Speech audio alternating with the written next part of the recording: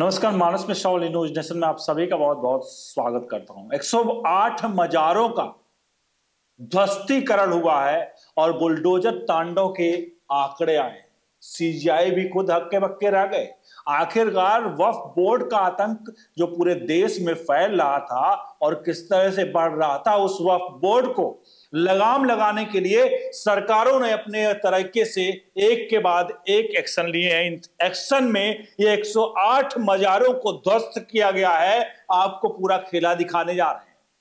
आखिरकार ये पूरा खेल जो मजारों के ज़रिए हो रहा था और अब सरकारें जब जगी हैं तो उनको कैसे एक एक करके विध्वंस कर रही हैं और ये ये किसी के, किसी भी धर्म से ये खेला नहीं जा रहा है।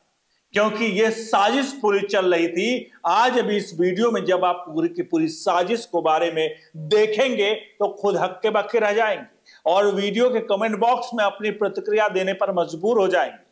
वीडियो को लाइक करिएगा, शेयर करिएगा, हर एक फ़ोन तक तो पहुँचा दीजिए अगर आपको लगता है हम अच्छे कंटेंट दे रहे हैं और बोर्ड जैसी संस्थाओं के लिए हम कहीं ना कहीं काल बनकर गुजरा तो आप सभी नीचे दिए कमेंट नीचे दिए नंबर्स पर आप सहायता राशि गूगल पे और पेटीएम के माध्यम से भेजते रहिए। हमारे हाथों को सशक्त करें। आगे बढ़ते हैं। वक्फ बोर्ड का पूरा का पूरा 108 मजारों का जब ध्वस्तीकरण हुआ है, उसके बाद क्या कुछ हुआ? वह बोर्ड का आतंक पूरे देश में बढ़ता जा रहा है। संपत्तियों पर अवैध तरीके से कब्जा करना, किसी भी व्यक्ति पर अवैध नोटिस भेजकर उसकी प्रॉपर्टी का कब्जा करना और बाद में उसे ब्लैकमेल करना, फिर आखिर में उसे धर्म परिवर्तन करवाना, यह पूरा प्रक्रिया है। अगर इन सबके बाद भी व्यक्ति वह बोर्ड की बात नहीं मानता है तो उसकी संपत्तियों पर अवैध कब्जा करके उसे सड़क पर ला दिया जाता और संपत्ति का असली मालिक जो होता है, वो बाद में मारा मारा फिरता है। वह बोर्ड की इन्हीं कृत्यों का। गुजरात सरकार ने बुलडोजर चलवाया है और असल में यह वह बोर्ड का पूरा खेला कैसे होता है, हम अब बताने जा रहे हैं। इससे पहले आपको बता दें, गुजरात सरकार का सबसे बड़ा तांडव 108 प्रॉपर्टियों का, वो हम आगे आपको बताने जा रहे हैं, लेकिन इससे पहले वह बोर्ड खेल कैसे करता है, वो सुन लीजिए। वह बोर्ड का खेल ये होता है। वह बोर्ड एक छोटी सी ज़मीन पर कब्जा करता है। फिर वहाँ पर वो मकबरा या मस्जिद बना देता है। मकबरा मस्जिद बनाने के बाद वो आसपास की जमीनों पर धीरे धीरे कब्जा करना शुरू कर देता है। फिर अपने लोगों को आसपास वो बसाना शुरू कर देता है। वो छोटे छोटे झोपड़पट्टियों में भी बसना शुरू हो जाते हैं। उसके बाद वह बोर्ड क्या करता है, क्योंकि वो मजार होती है, फिर उसके बाद वो आसपास की जमीनों पर दावा ठोकना शुरू कर देता है।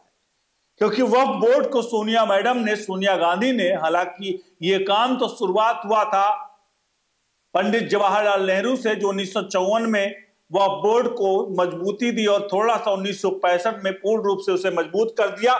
और फिर वह बोर्ड उन्नीस सौ पंचानवे में एक्ट को इतनी पूरा पावर दे दिया गया कि वो किसी की भी संपत्ति को ये अपना हासिल कर सके और जाते जाते 2013 में 123 दिल्ली की संपत्तियों को भी सोनिया मैडम ने वह बोर्ड के हाथों बेच दिया, डील किया। क्या किया इस बारे में हम पूरी तरह से नहीं बता सकते। तो ये पूरा का पूरा खेल आपके सामने, वह बोर्ड किस तरह से करता है, वो हम आपको हमने बताया। और वह बोर्ड उसके बाद क्या करता है, जब वो संपत्तियाँ वहाँ पर एक मजार बनाता है, आसपास की संपत्तियों पर कब्जा करता है तो वह उधर आसपास के लोगों को नोटिस भेजता है।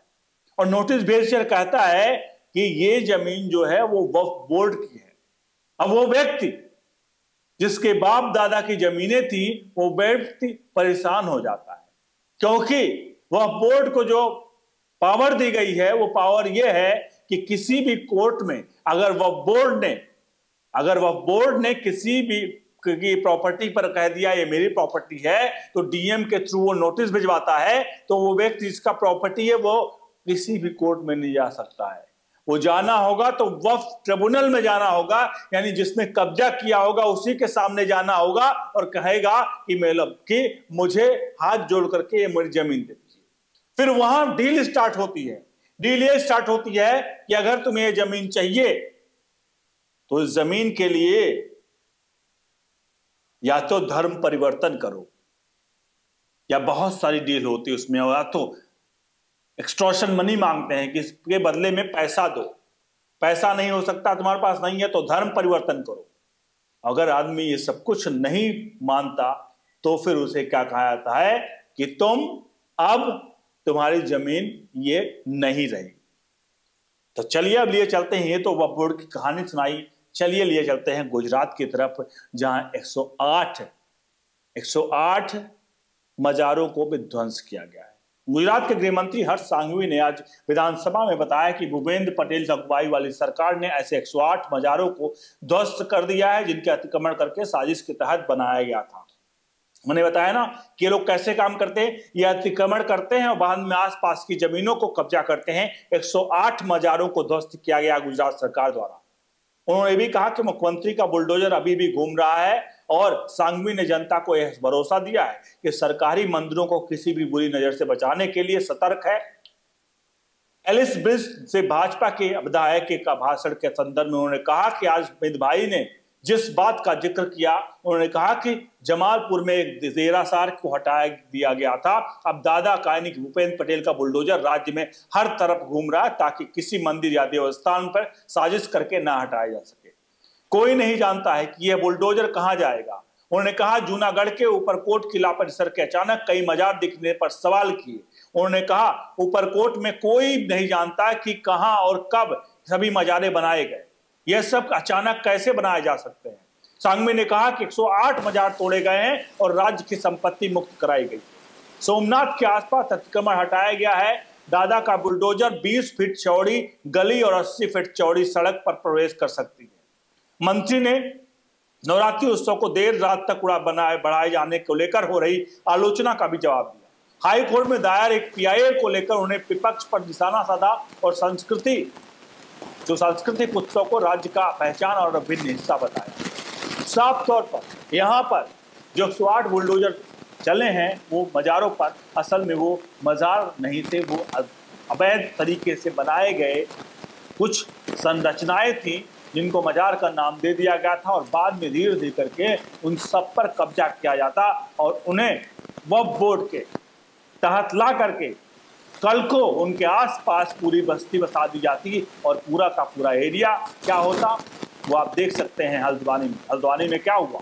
एक मस्जिद, फिर उसके बाद वहाँ मदरसा, फिर उसके बाद वहाँ मुस्लिम बस्ती। और कहाँ कहाँ से आते हैं? नहीं पता कि रोहिंग्या मुसलमान है, बांग्लादेशी हैं, अवैध हैं, कहाँ से हैं? कुछ नहीं पता, या पाकिस्तान से आए होंगे। आप सभी से अनुरोध है, वीडियो के कमेंट बॉक्स में अपनी प्रतिक्रिया ज़रूर दें। वीडियो को लाइक, शेयर ज़रूर करें और हर एक फ़ोन तक इस वीडियो को पहुँचा दें अगर कंटेंट हमारे पसंद आ रहे हैं तो नीचे दिए नंबर्स पर हमारे हाथों को सशक्त करें देश में काम करें, आप हमारे हाथों को सशक्त करें और नीचे दिए नंबर्स पर अपने गूगल पे पेटीएम के माध्यम से सहायता राशि दे सकते हैं। बने रहें वाली न्यूज़ नेशन के साथ। बहुत बहुत धन्यवाद।